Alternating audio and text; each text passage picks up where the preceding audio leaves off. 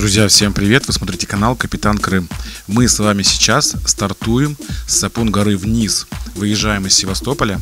Сейчас, подождите, пропустим пешеходов, пусть пройдут спокойно. Кстати, Сапун гору очень хорошо реконструировали не так давно. И вам рекомендую всем приехать посмотреть. Э, у меня скоро на канале будет об этом видео.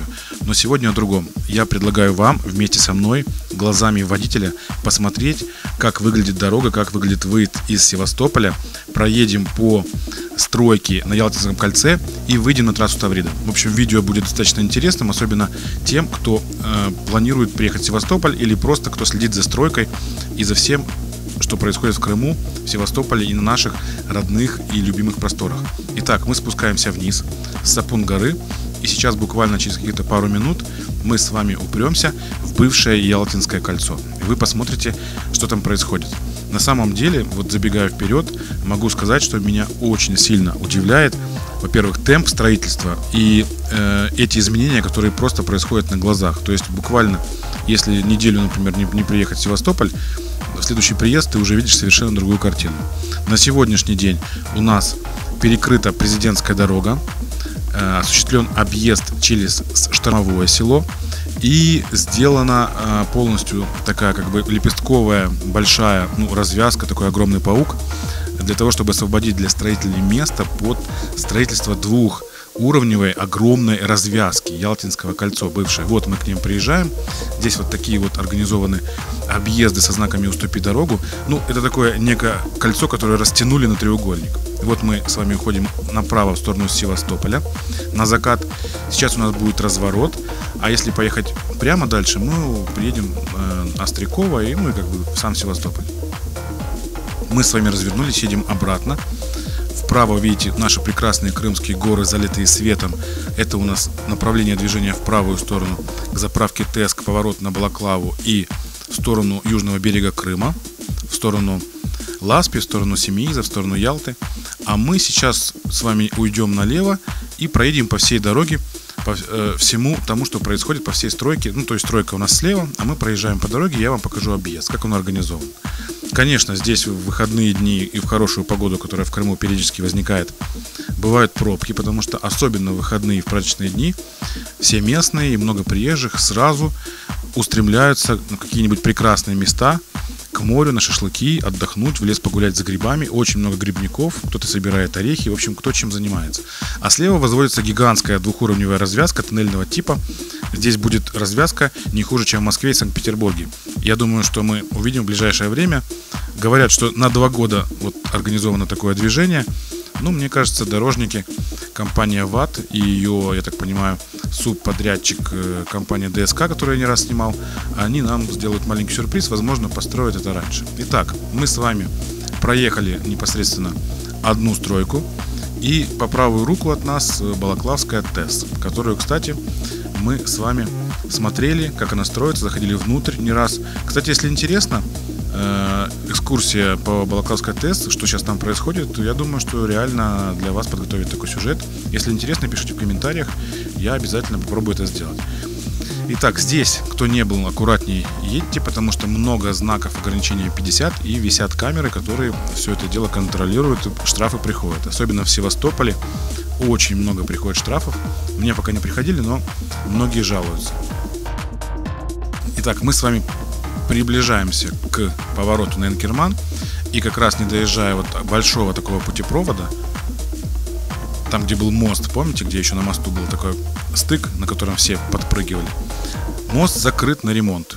И мы сейчас с вами поворачиваем направо в сторону штурмового и осуществим объезд, потому что дальше э, на восьмой этап трассы Таврида мы сможем выехать только после этого объезда, потому что прямая дорога закрыта, там идут строительные работы, идет ремонт. Потихоньку спускаемся вниз, здесь везде уступи дорогу. Конечно, в выходные и в часы пик здесь гигантские пробки. Этот объезд, ну, нельзя назвать сегодня дорогу в Севастополь, там из Евпатории той же самой. Или из Симферополя комфортный, потому что промчавшись, например, из Симферополя по трассе Таврида, вы упираетесь вот, вот во все это строительство. Конечно, определенный дискомфорт доставляет э, жителям и гостям, но ничего страшного, мы потерпим немножко и получим в итоге шикарнейшую дорогу. Я так полагаю, что через два года и здесь появится шикарная дорога, и дорога Симферополь-Евпатория-Мирный тоже достроится, и Крым будет окутан, опутан, окутан сетью хороших четырехполосных скоростных автомобильных дорог. Пока ограничение этих дорог планируется сделать 90 км в час, но я думаю, со временем, когда повесят камеры, когда будет налажен контроль за э, всеми вот этими нарушениями, тогда скорость увеличится, скорее всего, до 110 км, как это везде, как на трассе М4. Кое-где местами она даже есть 130 км, например, под Москвой или на некоторых участках в районе Воронежа. Итак, друзья, мы с вами движемся мимо точнее по штурмовому. Правее у нас сахарная головка, если я не ошибаюсь, ничего не путаю. Здесь вот после поворота налево будет такая длинная улица с названием Нефтяная улица. Я так понимаю, там какой-то идет нефтепровод или что-то в этом роде. Ну, просто так улицу не назовут. По сути, маршрут движения простой. Э, свернули направо, едем прямо, поворачиваем налево и выходим опять, возвращаемся на строящуюся трассу Таврида на восьмой участок. Э, и все. Но самое главное, почему я для вас снимаю этот ролик, во-первых, чтобы вы не пугались, что там за объезд, э, более-менее нормальная дорога, ям там нет, есть пару мест, где есть там лежачие полицейские, не очень такие приятные, но э, речь о другом. Речь о том, что каждый раз, проезжая по восьмому участку, постоянно меняется картина, постоянно удивляешься. Вот э, сейчас открыли движение уже по левой стороне, значит, смотреть Э, если Севастополь за вами, вот видите, населенный пункт Сахарная головка, мы по нему с вами сейчас проезжаем, поворачиваем налево, и постоянно новые пейзажи. То есть вот Крым не просто меняется, застраивается. Мы с вами недавно посмотрели ролик про недвижимость э, в Западном Крыму, уютная, э, заозерная, песчанка. Очень много отзывов поступило, в том числе вот по заявкам. Я рад, что вам эта тема показалась актуальной. Кто еще не видел, переходите по ссылке в описании, и в конце видео будет тоже такой небольшой тизер. Э, если вам необходим, если вы ищете дом или участок, смело нажимаете по моей ссылке, я сделал специально для вас сайт, там заполняйте имя, электронную почту и что вы хотите.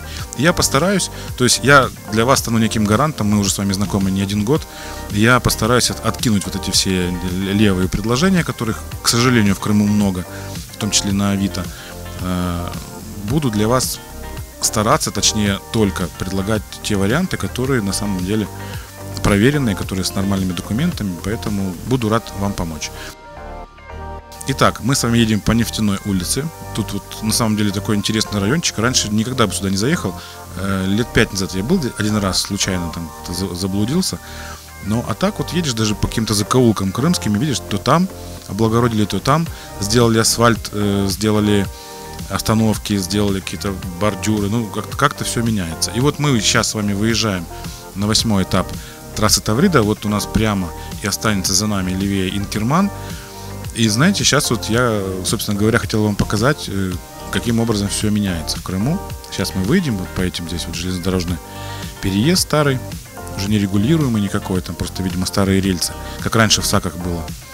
Вот, поднимаемся наверх, и сейчас вы сами посмотрите, как меняется рельеф. Крым не просто меняется инфраструктура не просто, а меняется даже картинка. То есть, если вот раньше уже привычные глазу были съезды, подъемы, повороты, и ты за каким-то поворотом дороги ожидал увидеть определенную картину, то, например, сейчас, э, проезжая по трассе Таврида, ты просто едешь, если так на минутку забыть, что ты в Крыму, э, не узнаешь места, потому что современная дорога, современные остановки, современные переходы, конечно, да, ради справедливости вы скажете, что свернув с дороги, там ничего нет, но не везде, уже кое-где появляется в обычных селах, не в каких-то там специальных элитных, а в обычных селах появляется благоустройство, которого, так сказать, э, никто не ждет. Вот даже с газом, если взять вопрос, казалось бы, да, вот э, объявили президентскую программу, а уже вот в Молочном на некоторых улицах просто за один месяц взяли и проложили, или как правильно сказать,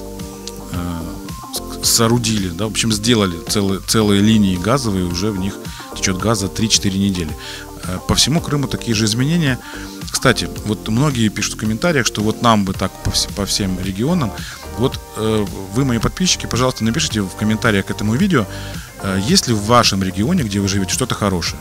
Или только в Крым у нас складываются деньги, а везде все плохо. Мне кажется, все-таки везде делается по чуть-чуть и очень сильно зависит от местных властей. Так же, как в Крыму, там одно село от другого отличается. Э, могут быть рядом стоять села, в одном есть благоустройство, где работают люди, а в другом где никто не старается, ничего не напрягаются, там ничего не происходит. Вот смотрите, здесь изменилось движение, полностью поменяли практически рельеф. Я так понимаю, дорогу сглаживают. И мы сейчас проехали по одной половинке. Сейчас нас переключат э, дорожники, так сказать. Мы сейчас переместимся и уже пойдем по новому асфальту. И практически вырисовывается картина. Вот э, основная дорога будет левее. Мы сейчас едем по временному объезду. Кстати, временные объезды у ВАДА не хуже, чем некоторые дороги, которые у нас сейчас в городах, там в Евпатории, в Симферополе. То есть иногда по ним едешь просто как по такой, ну вот немножко мы попрыгали, едешь по гладкой дороге без ям. А в города в наши иногда страшно сворачивать, потому что там, конечно, яма с полколеса бывает. Вот смотрите, какая картина. Уже Таврида немножко продлилась. Я думаю, что, возможно, скоро какие-то участки начнут потихоньку открывать. В общем, друзья, э, я надеюсь, вам это видео было интересно и полезным. Такое небольшое. В следующем видео мы с вами прокатимся по Тавриде. Посмотрим дальше нашу дорогу. Как вообще на закате, когда солнце светит вам в спину, и вы едете с запада на восток по трассе Таврида из Севастополя, как вообще все выглядит, и погрузимся с вами вот вместе с закатом в ночной Крым, в ночную э, крымскую дорогу, э, чтобы вы ощутили, э, сейчас у многих из вас, наверное, в ваших регионах идут снега, э, Вчера в Крыму тоже прошел небольшой снег, даже вот э, э, электрические эти РЭС цифровые, которые я недавно снимал, у них в Инстаграме там посмотрел публикацию, что перв, с первыми стихиями, непогодами в этом году справились успешно. Поэтому э, все постоянно меняется. В Крыму может быть 0, минус 3, потом резко плюс 20. Погода всегда дает какие-то сюрпризы и предлагает новые препятствия для путешествий и для отдыха. Друзья, огромное вам спасибо, что смотрите мой канал. Ставьте лайки, жду ваших комментариев по традиции. И кто еще не успел подписаться, подписывайтесь. До скорых встреч. Ваш Капитан Крым.